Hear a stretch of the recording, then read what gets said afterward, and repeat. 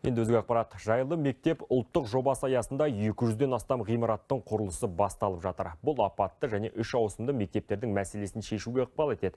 Ал бүгін елде жаңадан 39 мектеп қолданысқа берілді. Соның бірі елорда іргесіндегі Қосшы қаласында орналасқан заманауи білім ұясын әріптесім көріп қайтты.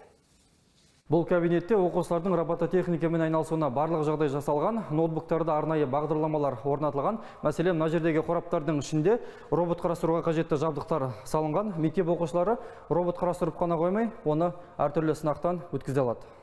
Сондай-ақ үшті модельдеу студиялары мен виртуалды көлік жүргізу сыныбы бар. Музыка кабинеттері мен баскетбол, футбол алаңдарымен де жабдықталған. Оқушылар білім алып қана қоймай, өздерін жан-жақты дамыта алады. Жайлы мектеп ұлттық жобасы аясында 200-ден аса мектептің құрылысы басталып жатыр.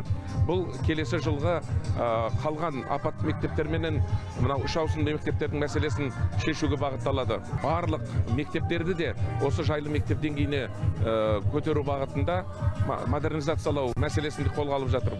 Әсіресе осындай соңғы үлгідегі техникалармен жабдықталған мектепке өз балаларын ертіп келген ата-аналардың қуанышында шек жоқ.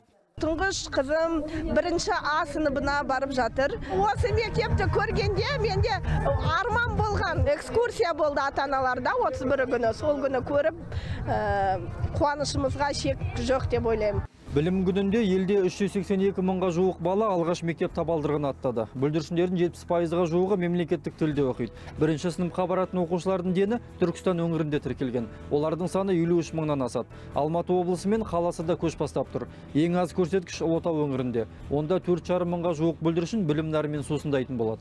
Жаңа оқу жылында 11 сынып оқитын шәкірттердің санында рекордтық көрсеткішке, яғни 189 мыңға жетіп отыр. Жалпы елде 7,5 мыңнан астам орта білім беру ұйымы бар. Жыл соңына дейін тағы 132 мың орындық білім беру ұйымдары пайдалануға беріледі. Әл-Фараби Серіков, Серік Қоңырбаев, Хабар 24.